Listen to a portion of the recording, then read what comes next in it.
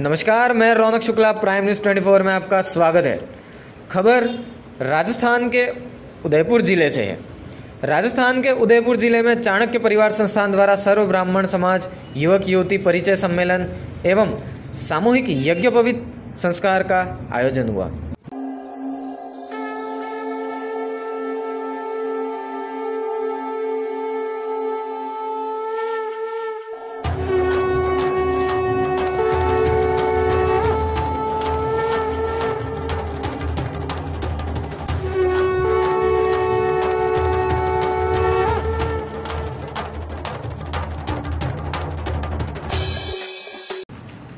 आज दिनांक 17 नवंबर 2019 को आयोजित हुए इस कार्यक्रम के अंतर्गत राजस्थान के अनेक विप्रगण उपस्थित रहे।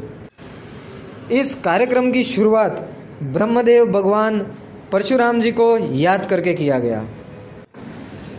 तथा इसी के बाद युवक युवती परिचय स्मारिका का लोकार्पण भी हुआ, जिसके अंतर्गत 538 युवक युवतियों का परिचय हुआ।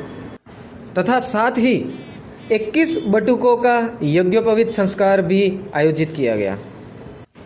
कार्यक्रम का संचालन गजेंद्र जी चौबीसा द्वारा किया गया, जिसमें मुख्य अतिथि डॉक्टर गिरिजा व्यास उपस्थित रही और विशिष्ट अतिथियों में सुधाकर जी शास्त्री, विजय जी व्यास, पूरण कुमार जी शर्मा एवं सीपी जोशी उपस्थित रहे इस कार्यक्रम का कि विप्र परिवार बांटकर खाने में विश्वास रखता है और ज़िंदगी में बांट के खाने से हमेशा बढ़ता है।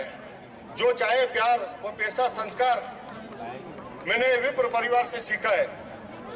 चलो ज़िंदगी की नई शुरुआत करते हैं। जो उम्मीदें औरों से की है आज खुद से करते हैं। क्यों हम ये सोचते हैं कि लोग क्या कहेंगे? अगर वे निर्णय लेने के आधार हैं तो आप अपने नज़रिए से जीवन जीते हैं। इस बोझ को खत्म कीजिए। हमारा निर्णय ही हमारा भाग्य बदलता है। हमारे संस्कार, हमारी योग्यता और हमारा दृढ़ संकल्प हमारे निर्णय के आधार है। हमारा अच्छा व सही निर्णय परिवार को खुशियाँ दे सकता है। प्राइम न्यूज़ 24 से मनीष सेवक की खास रिपोर्ट